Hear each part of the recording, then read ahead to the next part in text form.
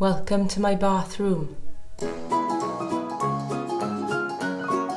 Came in here for a nice relaxing soak and I just like to reassure you first of all that there was no water wastage here today. Truth be told I just come for some peace and quiet. Them lot down there, they're doing my nutting today. Housemates. We're not mates.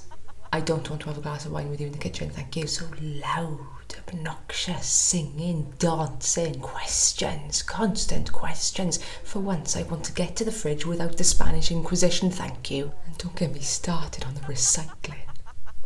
Time and time again, abusing the system. Just chuck anything anywhere. And this is why I'm here to educate and inspire and give them a good kick up the arse.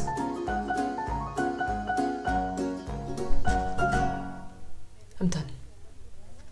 Come back next week, I'll show you how you can reuse your bathwater.